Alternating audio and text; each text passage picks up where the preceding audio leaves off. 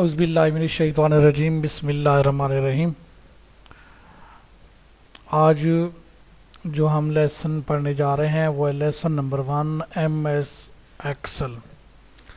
जी तो शुरू करते हैं जी आज का लेक्चर, आज का demo.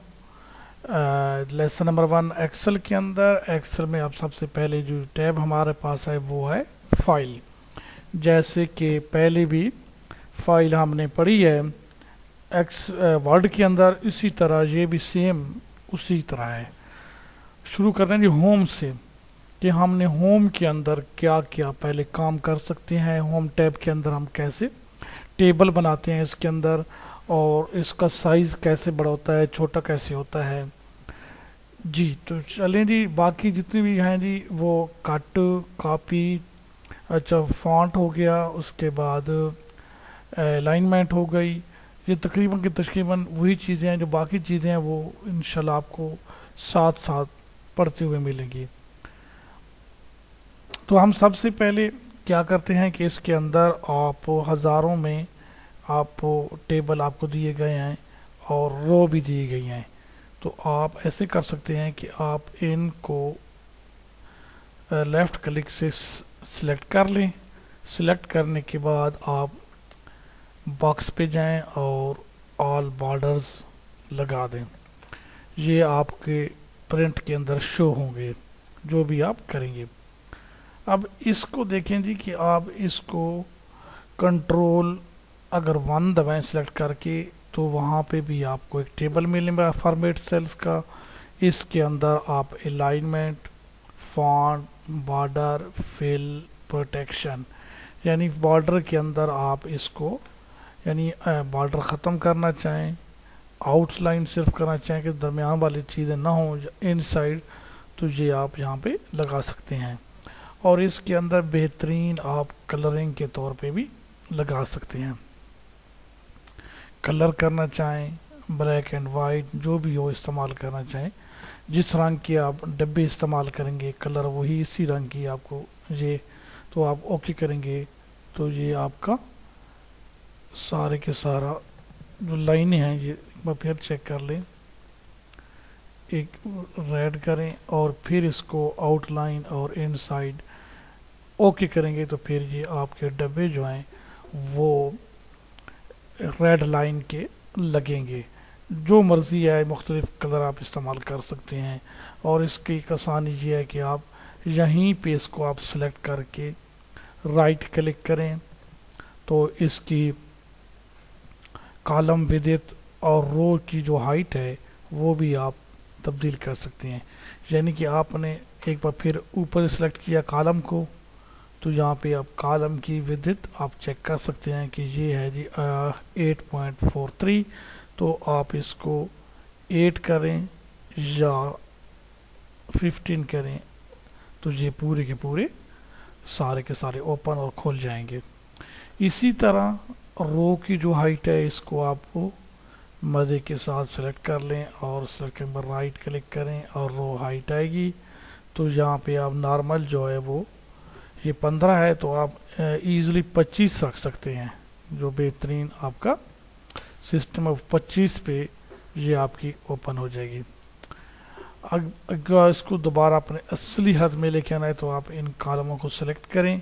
सिलेक्ट करने के बाद इनका राइट क्लिक करें और कॉलम विद्युत को आप एट पे रख लें। ये आपकी ओरिजिनल पोजीशन में आ जाएँगे और इनको भी आप ओरिजिनल पोजीशन पे ले आए ताकि पढ़ने में आपको आसानी हो। जी, और इनका अगर आपने ये लाइनें ख़त्म करनी है, इसको सिलेक्ट करें। सिलेक्ट करने के बाद जब कंट्रोल वन के साथ करें या शॉर्टकट जहाँ पे पड़ा हुआ है सेलेक्ट करेंगे नो बॉर्डर ये बॉर्डर आपके ख़त्म हो जाएँगे। नेक्स्ट चलते हैं जी, कि आप एक टेबल बनाना है मिसाल के अंदर डेटा का टेबल बनाना है। तो आप पहली लाइन के ऊपर आप हेडिंग देंगे मिसाल के ऊपर आप लिखेंगे table for student students data या आप लिखेंगे जी टेबल फॉर नहीं, बल्कि आप लिखेंगे स्टूडेंट डेटा स्टूडेंट्स डेटा अब इसको आपके शायद नज़र आ रहा हो कि ये नेक्स्ट नहीं, एक ही कॉलम के अंदर, एक ही बॉक्स के अंदर लिखा हुआ है। इसको पहले आप थोड़ा सा यहाँ पर रहने दें जब आप सेटिंग करेंगे तो बताएँगे कि आपने किस तरह करनी है। एक लाइन छोड़ दें, दो छोड़ दें, तीसरी लाइन में आप लिखें जी, सीरियल नंबर, उसके बाद नेम लिखें, उसके बाद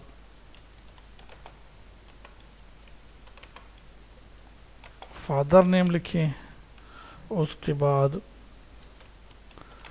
डेट ऑफ़ बर्थ लिखें। अच्छा एडमिशन नंबर हो गया। उसके बाद और बहुत सी चीज़ें आपके पास हैं जिसको आप लिख सकते हैं। मिसाल के तौर पर कि बच्चे की क्लास कौन सी है।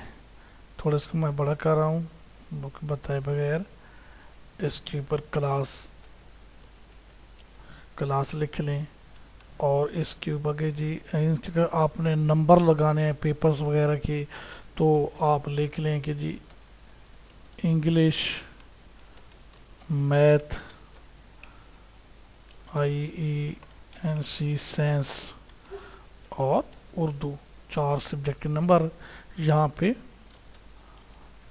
टोटल नंबर और यहाँ पे ऑप्टेन नंबर लिख लें।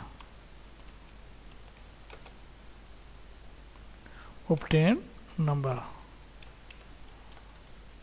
यहाँ पे जी ग्रेड लिख लें। ये आपका आज का काम है कि जी आपने यहाँ को, यहाँ तक। अब इनको आपने सिलेक्ट करना है। सिलेक्ट करने के साथ इनको आपने सेंटर कर लेना है और बोल्ड कर देना है। अब इस पर बॉर्डर नहीं लगा हुआ तो इसको आपने बॉर्डर के अंदर फिट कर देना है कि ये आपका बॉर्डर है। अब ये लाइनें थोड़ी सी दाएँ बाएँ कर लें। नेम की थोड़ी सी लाइन को बड़ा कर लें। फादर नेम बड़ा कर लें डेट ऑफ़ बर्थ ये छोटी रहने दें। क्लास ठीक हो गई नंबरिंग ठीक हो गई। अब देखें जी, आपको इसके अंदर कुछ लिखाई पूरी नहीं आ रही है। तो इस लिखाई को हमने जब अगर पूरा करना है तो इसको हम करेंगे रैप टेक्स्ट रैप टेक्स्ट करने के बाद आपके ये ऊपर नीचे आ जाएँगे और इस रो की आपने जो चौड़ाई है, उसको थोड़ा सा बड़ा कर देना है। ये देखें जी तो ये इनकी, ये पूरी के पूरे, लेकिन ये कुछ नीचे पड़े हुए हैं, कुछ ऊपर तो इनको आप ये भी सेंटर कर लें। एक बॉक्स का सेंटर एक लाइन का सेंटर ये लाइन का सेंटर हो गया, और इसको आपने सेव कर लेना है। सेव पे दबाएँगे तो ये लेसन नंबर वन जहाँ पे हमने रखा था, वहाँ पे सेव हो जाएगा। अब ये हमारा पूरा टेबल बन गया है। और इस टेबल को हमने क्या करना है? स्टूडेंट डेटा जो पड़ा हुआ है, इसको हमें सेंटर में लेके आना है तो हम पूरी रो को सिलेक्ट करेंगे। सिलेक्ट करने के बाद हम मार्ज सेंटर कर देंगे। ये हमारा मार्ज सेंटर हो गया। ये देखें जी, इसको हमने सेव कर देना है।